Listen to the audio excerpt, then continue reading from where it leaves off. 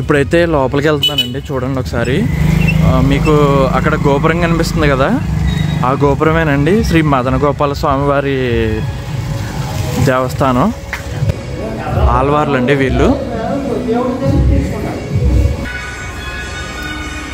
ఇదిగోండి చూస్తున్నారు కదా? మనం చిన్న తిరుపతిలో గమనిస్తే ఆల్వార్లు ఉంటారు పొయ్యిగాయ పొయ్యిగై ఆల్వార్ హోదా తల్వార్ ఇలాగా చాలామంది ఉన్నారు చూడండి. వీళ్ళంతా కూడా విష్ణుమూర్తి యొక్క అంశలండి వీళ్ళు. అందరికీ నమస్కారం అండి. అందరూ ఎలా ఉన్నారు? I'm Phani and welcome to my channel ఈరోజు నేను బల్లిపాడు అనే గ్రామానికి వెళ్తున్నానండి. ఈ బల్లిపాడు అనే గ్రామంలో ఒక పురాతనమైన గుడి ఒకటి ఉందండి.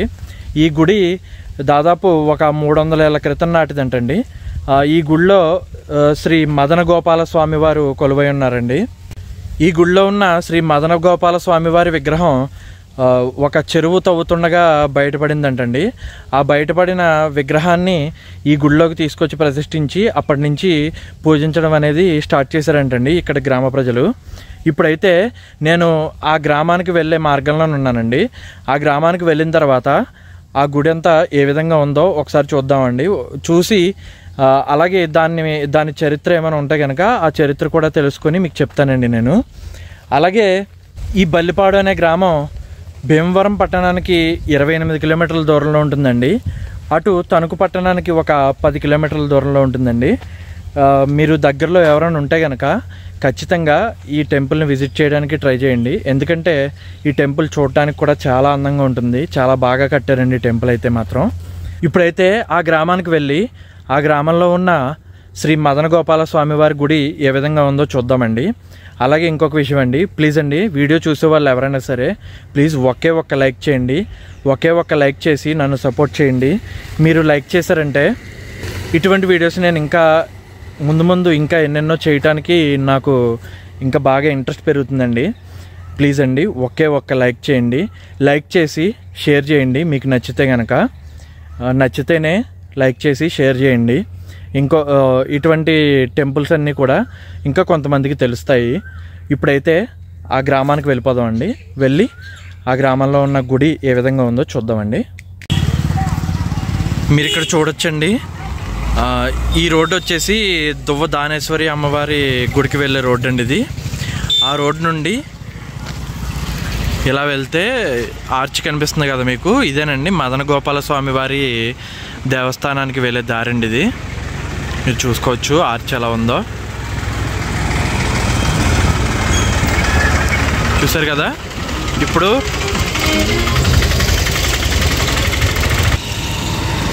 ఇప్పుడు లోపలికి వెళ్ళి ఆ ఊర్లో ఆ ఊర్లో ఆ టెంపుల్ ఏ విధంగా ఉందో చూద్దామండి ఒకసారి. మీరు చూస్తున్నారు కదండి ఇది వచ్చేసి బల్లిపాడు అనే గ్రామం ఇదే. ఈ గ్రామంలోనే మదన గోపాల స్వామి వారి దేవస్థానం అనేది ఉందండి. మీకు చెప్పాను కదా గుడి. ఆ గుడి ఉంది. ఇప్పుడు మీకు అక్కడ కనిపిస్తుంది కదా గోపురం. అదేనండి ఆ గుడి.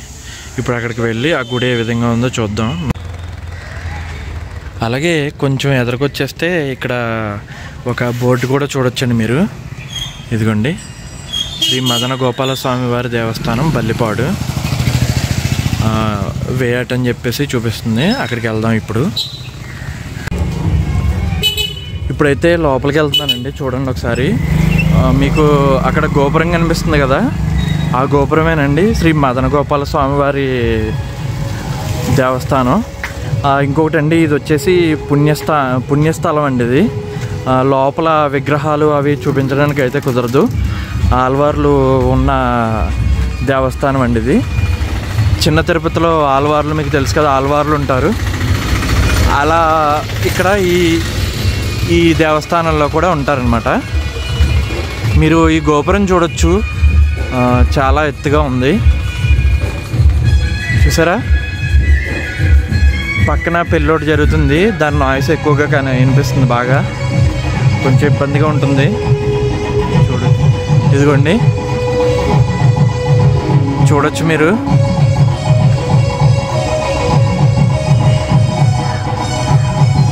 చాలా బాగుంది కదా?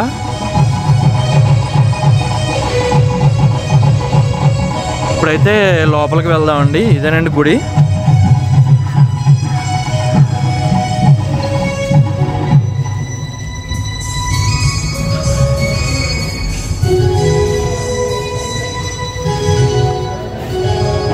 చూస్తున్నారు కదా?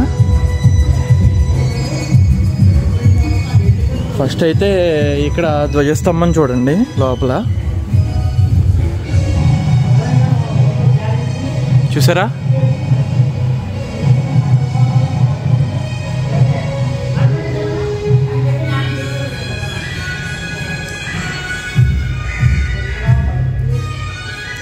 భరద్వాజ మహర్షి. ఇప్పుడు ఏంటంటే లోపల లోపల విగ్రహాలు తీయడానికైతే లేదండి. అలాగే లోపల నుంచి ఈ ధ్వజస్తంభం చూస్తున్నారు కదా ఈ ధ్వజస్తంభాన్ని అయితే పంతొమ్మిది వందల ఒకటిలో నిలబెట్టారంటండి ఈ ధ్వజస్తంభాన్ని. పంతొమ్మిది వందల ఒకటి. అలాగే ఇందులో ఉన్న శ్రీ మదన గోపాల స్వామి వారిని ఈ గ్రామ ప్రజలు పాలకొల్లు సమీపంలో ఉన్న పనిమాదం అనే గ్రామంలో చెరువు తావటానికని వెళ్తే అక్కడ ఆ విగ్రహం అనేది బయటపడిందంటండి. అలా బయటపడిన విగ్రహాన్ని ఈ ఊరిలోకి వాళ్ళ సొంత ఊరైన ఈ పల్లిపాడుకి తీసుకొచ్చి ఈ ఊర్లో ప్రతిష్ఠించడం జరిగిందంట. అలాగే మీకు ఈ ఆలయంలో ఆల్వార్లు ఉంటారని చెప్పాను కదండి. ఇదిగోండి. ఆల్వార్లు అండి వీళ్ళు. ఇదిగోండి చూస్తున్నారు కదా. మనం చిన్న తిరుపతిలో గమనిస్తే ఆల్వార్లు ఉంటారు. ఆ, పొయ్యిగై ఆల్వార్ పోదాత్ ఆల్వార్ ఇలాగా చాలామంది ఉన్నారు చూడండి. వీళ్ళంతా కూడా విష్ణుమూర్తి యొక్క అంశలండి వీళ్ళు. పేయాల్వార్ నమ్మాల్వార్ శ్రీమానుజులు శ్రీరామానుజులు. ఇదిగోండి. శ్రీ రామానుజులు తొండరెడి పొడి యాల్వార్. కులశేఖర్ ఆల్వార్. ఇదిగోండి కులశేఖర్ ఆల్వార్. పెరియాల్వార్ మధుర కవి ఆల్వార్. తిరుప్పాన్ ఆల్వార్ అదేదో నోరు తిరగట్లేదు. తిరుమంగై ఆల్వార్ అంటండి. శ్రీ ఆండాల్.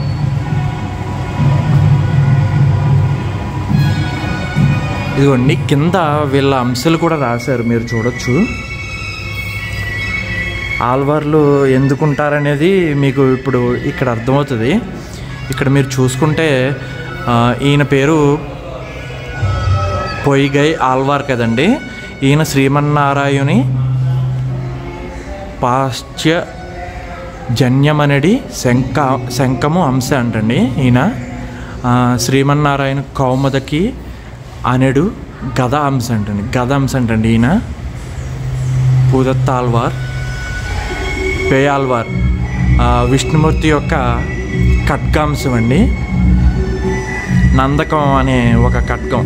నందకం నందక ఖడ్గాంశం అంటండి. అలాగే నమ్మాల్వార్. ఈయన వచ్చేసి విశ్వ విశ్వక్సేనులు అంటండి సేనాధిపతి అంటండి. విష్ణుమూర్తి యొక్క సేనాధిపతులు విశ్వక్సేనులు శ్రీ రామానుజులు ఈయన వచ్చేసి ఆదిశేషు అవతారం అంటండి. అలాగే తొండరిప్పోడి ఆల్వార్. శ్రీమన్నారాయణుని వనమాల అంశం అంటండి. అలాగే ఈయన వచ్చేసి కౌస్తుభమని అంశ. ఈయన వచ్చేసి వాహనము గరుడ అంశ అంటండి. ఇదేంటంటే మధురకవి ఆల్వార్. ఈయన ఈయన విశ్వక్సేన నాల్వార్ తిరుప్పాణ ఆల్వార్. ఈయన వచ్చేసి ఆ, శ్రీ వత్సాంశమనడి పుట్టుమచ్చాంశ అంటండి. ఈయన చూసుకోవచ్చు మీరు. సుదర్శన అంశం అంటండి. సుదర్శన చక్రం అంటారు కదా ఆ అంశం అంటండి. తిరుమంగయ్య ఆల్వార్ ధనుస్సు అంశం అంటండి. శ్రీ ఆండాల్ భూదేవి అవతారం. ఇదిగోండి. మీరు ఇవన్నీ చూసుకున్నారు కదా ఇవన్నీ కూడా విష్ణుమూర్తి యొక్క అంశాలు అనమాట ఈ ఆల్వార్ల యొక్క మనకి చిన్న తిరుపతిలో మీరు చూసుకుంటే ఆల్వార్లు ఉంటారు. వీళ్ళ యొక్క మనకి వీళ్ళ యొక్క అర్థం ఏంటనేది మీకు తెలిసింది కదా ఇప్పుడు? ఇదండి. ఇది వచ్చేసి చరిత్ర అండి. మీకు ఎవరైనా మీరు చదవాలి అనుకుంటే కనుక వీడియోని పాజ్ చేసి చదవండి. నేను ఇందాక సింపుల్గా చెప్పేశాను. ఆ ఆ పాలకొల్లు దగ్గర ఉన్న పెనుమాదంలో దొరికారు ఈ స్వామివారు. అదండి.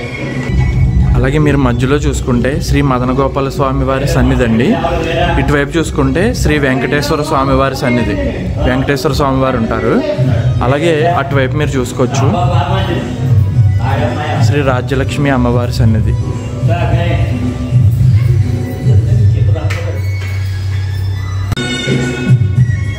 టెంపుల్ లోపలైతే చూశారు కదా ఇప్పటి వరకు. ఇప్పుడు టెంపుల్ బయట ఎలా ఉందో చూద్దామండి ఒకసారి. ఇది టెంపుల్ బయట అనమాట ఇక్కడ నుంచి మీరు చూడొచ్చు. పక్కన ఆ సౌండ్స్ అవి చాలా బాగా వినిపిస్తున్నాయండి.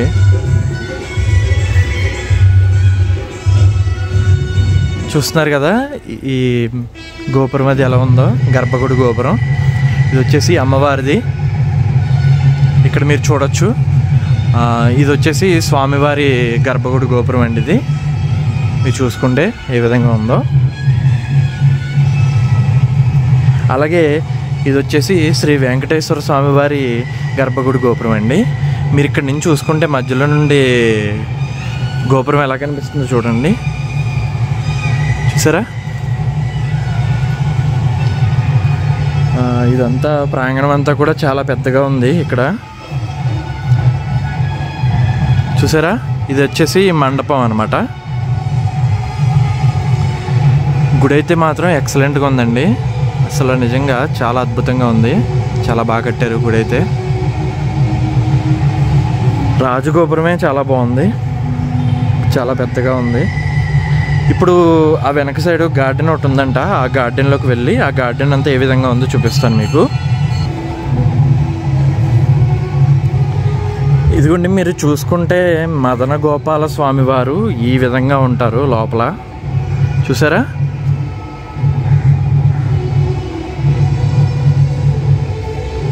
ఈ విధంగా ఉంటారు. చూసారు కదా?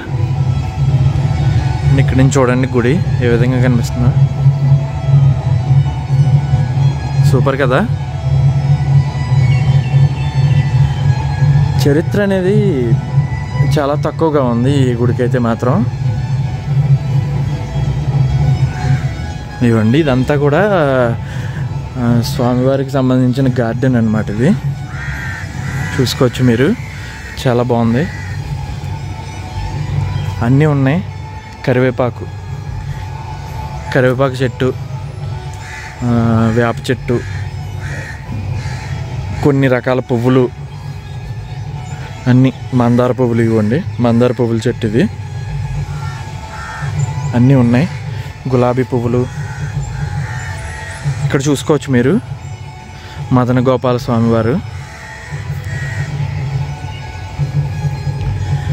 ఇదిగోండి. ఎర్రచందనం చూసారా? ఎర్రచంద్రం ఎర్రచందనం వృక్షం అంటండి. చూసారా మీరు ఎప్పుడైనా ఇది? దాని ఆకు ఇదిగోండి ఇలా ఉంటుంది.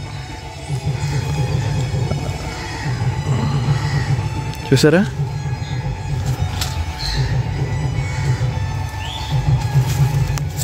ఏం చెరుగ్గడ ఇది చెరుకు చెరుగ్గడ. Sugar cane. గుడి అయితే మాత్రం భలే ఎక్సలెంట్గా ఉంది. ఇవన్నీ తులసి మొక్కలే. ఇవన్నీ చూసుకున్నారా? ఇవన్నీ తులసి మొక్కలే తులసమ్మలు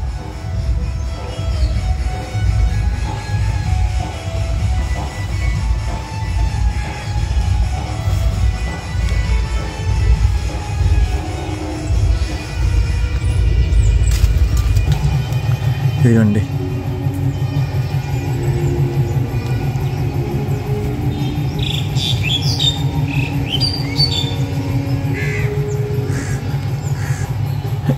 ఆశుశ్రీ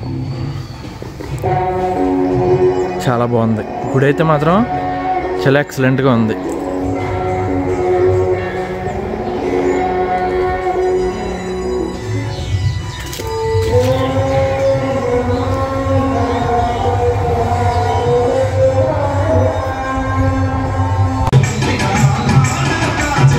గుడి నుండి ఇలా బయటకు వచ్చేసిన తర్వాత ఇక్కడ మీరు చూడొచ్చండి.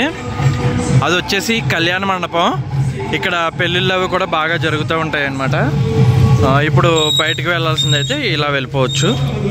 చూసారు కదండి? మీకు ఈ చరిత్ర అనేది మళ్ళీ చెప్తాను తర్వాత. ఇక్కడ ఎందుకంటే బాగా ఎక్కువ నాయిస్ వచ్చేస్తుంది. ఎదరికి వెళ్ళి సైలెంట్గా ఉన్న ప్లేస్లో నేను మీకు చెప్తాను ఈ చరిత్ర అనేది. అలాగే ఆ గుడి దగ్గర నుంచి ఇలా వచ్చేస్తే ఇక్కడ ఒక గుడి కూడా ఉందండి శివాలయం అండి ఇది. శ్రీ కాశీ విశాలక్షి సమేత విశ్వేశ్వర స్వామివారి దేవస్థానం అండి ఇది. ఇది కూడా ఒక శివాలయం అనమాట ఇలా చూడొచ్చు మీరు ధ్వజస్తంభం అది. ఇదిగోండి ఇదేనండి ఆ శివాలయం. అలాగే ఇటువైపు వెళ్తే గుడి బ్యాక్ సైడ్కి వెళ్తాం మనం. అలాగే మీరు ఇక్కడ చూసుకోవచ్చు. ఇక్కడ ఒక పెద్ద శివలింగం కూడా ఉంది. చూస్తున్నారా?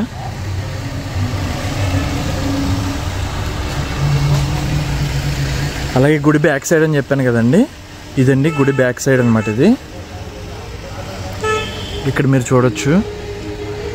కనిపిస్తుందా? ఇదిగోండి ఇదంతా గుడి బ్యాక్ సైడ్ అనమాట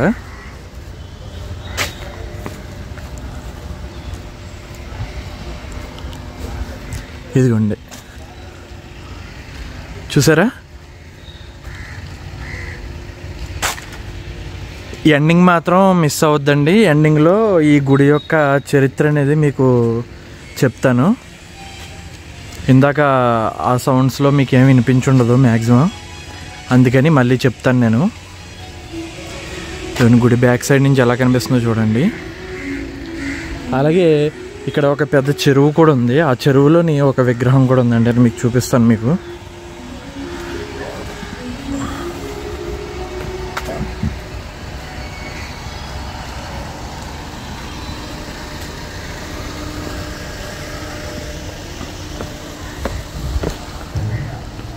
చూస్తున్నారా?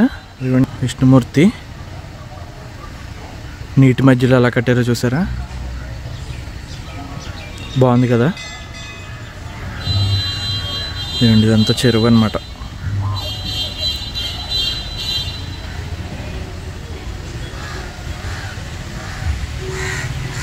చూసారుగా? శ్రీ మదన గోపాల స్వామి వారి గుడి ఏ విధంగా ఉందో చూసారు కదండి? ఇప్పుడు ఏంటంటే ఈ గుడి యొక్క చరిత్ర అనేది నేను మీకు చెప్తానండి.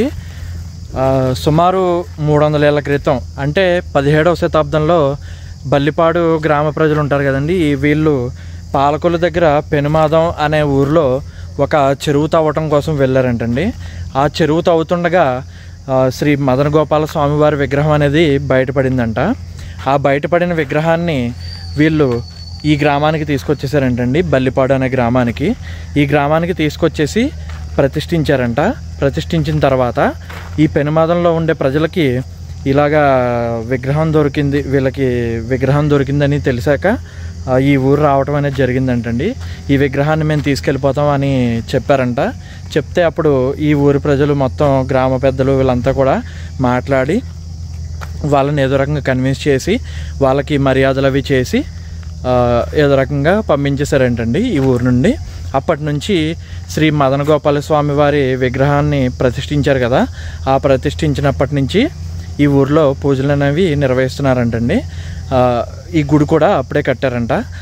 అలాగే ఈ ధ్వజస్తంభం చూశారు కదండి ఈ ధ్వజస్తంభం వచ్చేసి పంతొమ్మిది వందల ఒకటిలో కట్టారంటండి ఈ ధ్వజస్తంభాన్ని నిర్మించారంట పంతొమ్మిది వందల ఒకటిలో. అదండి ఈ ఆలయం ఈ గుడి యొక్క చరిత్ర. ఈ వీడియో మీకు ఎలా అనిపించిందో కామెంట్లో చెప్పండి. వీడియో నచ్చితే కనుక లైక్ చేయండి. అలాగే మీ ఫ్రెండ్స్ అండ్ ఫ్యామిలీ మెంబర్స్ కూడా షేర్ చేయండి. ప్లీజ్ అండి ఒకే ఒక్క లైక్ అండి. ఒకే ఒక్క లైక్ చేసి షేర్ చేయండి. మీరు లైక్ చేశారంటే ఇటువంటి వీడియోస్ నేను ఇంకా చేయడానికి నాకు ఇంట్రెస్ట్ బాగా పెరుగుతుంది. ప్లీజ్ అండి ఒకే ఒక్క లైక్ చేయండి చాలు. ఇక అయితే ఇక్కడతో వీడియో క్లోజ్ చేస్తానండి. థ్యాంక్స్ ఫర్ వాచింగ్ జై హింద్.